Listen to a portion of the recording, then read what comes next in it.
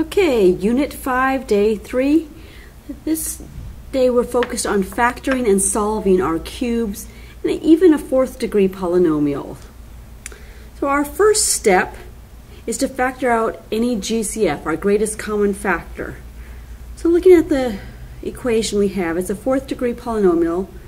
It looks like I have an x in every term as well as a 2. So I'm going to factor out a 2x. So we'll have 2x 2x fourth divided by 2x leaves me an x cubed. 6x cubed divided by 2x gives me 3x squared. A negative 8x squared divided by 2x gives me a negative 4x. A negative 24x divided by 2x gives me a negative 12. That's still equal to 0. Now we're going to concentrate on what's inside this parentheses. The 2x is just going to hang out there until we're ready to solve. So we've got four terms here. We're going to go ahead and just put them into a box. So we'll build our box. Our cubic term will go in the top left. And our number without the x goes in the lower right. The other two you can put in either box.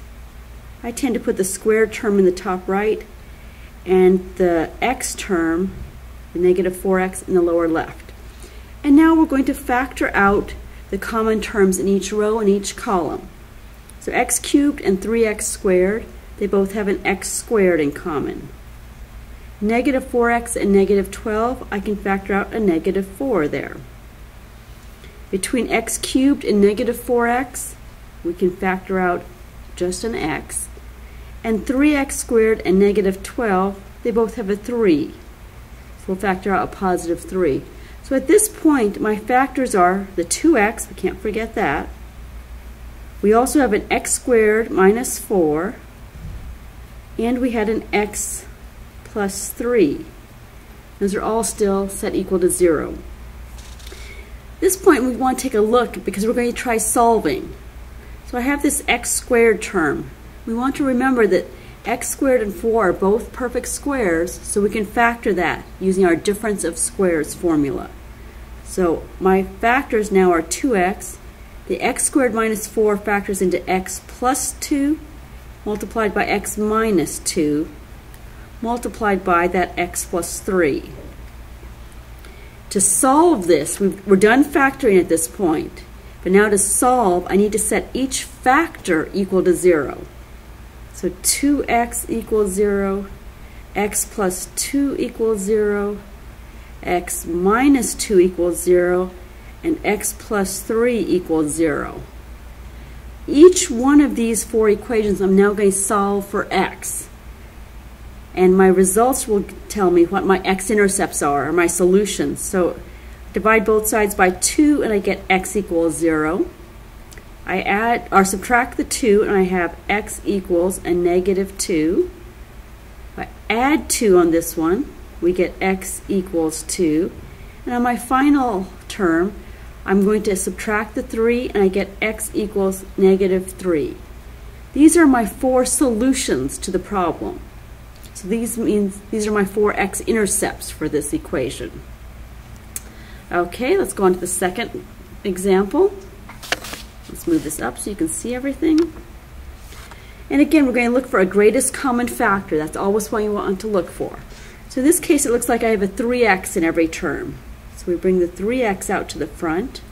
And when I factor 3x out of each term, I'm going to see what's left. So I've got an x cubed plus 4x squared minus x minus 4 equal to 0. And again, I'm going to put the cubic into a box now to factor it. And we won't always be able to factor it, but in today's class, that's what we're focusing on, ones that we can factor. So x cubed plus 4x squared minus x minus 4.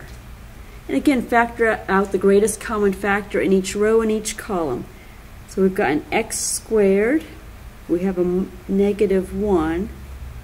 In the first column we have an x, and second column it looks like we have a positive 4. So my factors are 3x x squared minus 1, x plus 4, and that's all equal to 0. Okay, so again, we've got this x squared term. And the way I'm going to deal with that is I recognize these are both perfect squares, so I could do factor it using my difference of two squares. So I will get x plus 1 and x minus 1 times x plus 4 equals 0.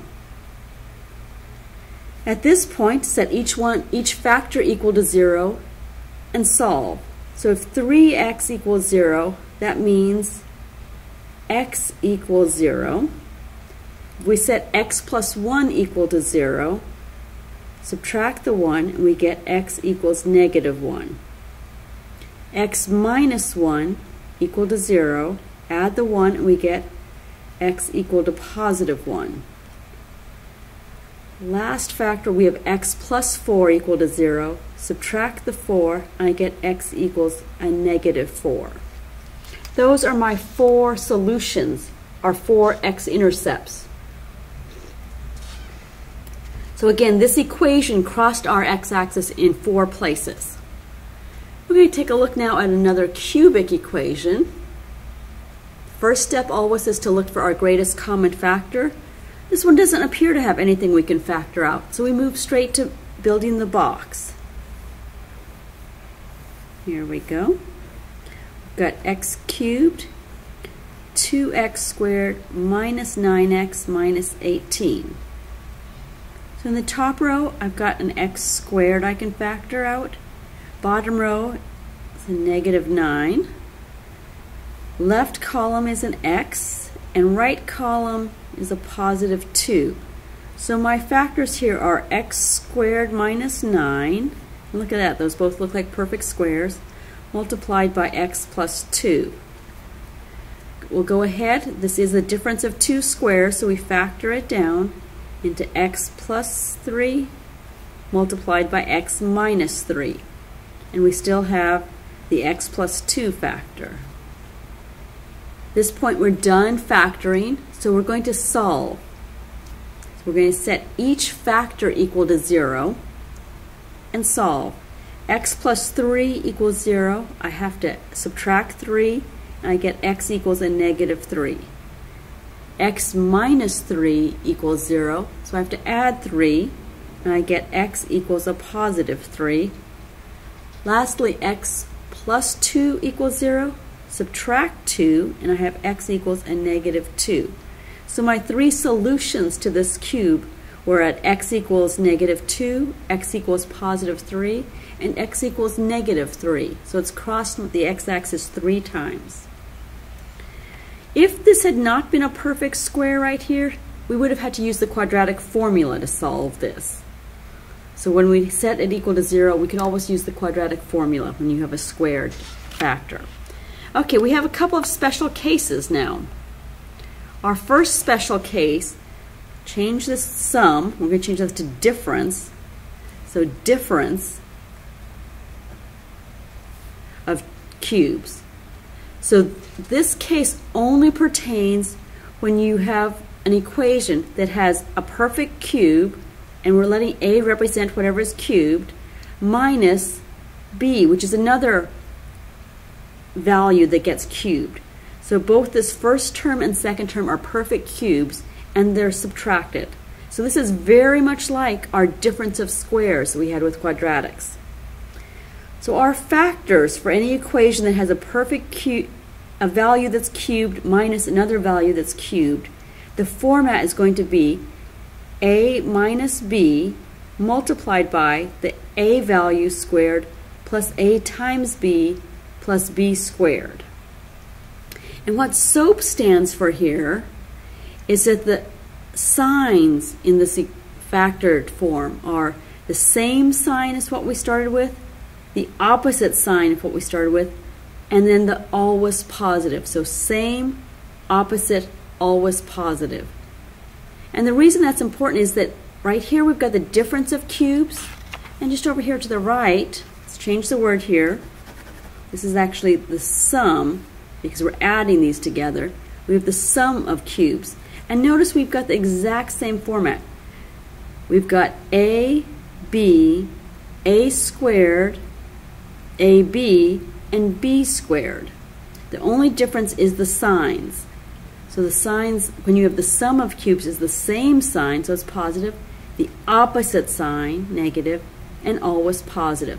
So same sign, opposite sign, always positive. Okay, let's see how these work. So let's come back over to our difference of cubes. And the first thing we want to do is identify what is A. What is cubed in this term? And in this case, it's the x. So I'm putting it in parentheses just to make it stand out. So x is getting cubed, and in the second term, we have the value of 8. Well, I happen to know that 2 cubed equals 8. So I have x cubed minus 2 cubed. So now I'm going to just use this format, a minus b. So my a value is x.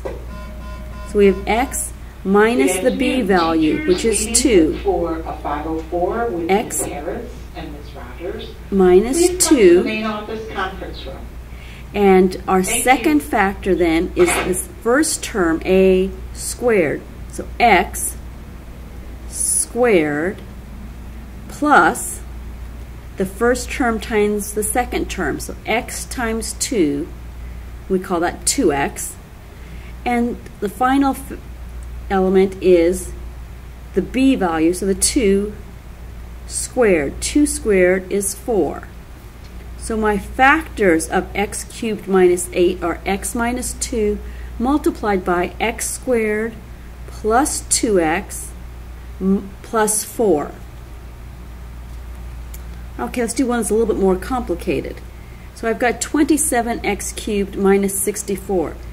Well, 27 is a perfect cube, and x cubed is a perfect cube. So I could rewrite this as 3x cubed minus, what's the cube root of 64? It's 4. So really I'm rewriting this just to the format a cubed minus b cubed. So my factors will be a minus b. So in this case, a is 3x. So 3x minus whatever the b factor is, so it's 4, multiplied by the a value squared. So 3x squared plus a times b. So this is 3x multiplied by 4 plus our b term squared. So let's just clean this up a little bit. So we're going to have 3x minus 4. Can't do anything to make that look prettier. And over here, 3x squared, we need to square the 3. So 3 squared is 9. x squared is simply x squared.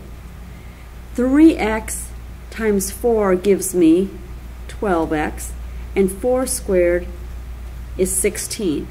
So this is my factored form of 27x cubed minus 64.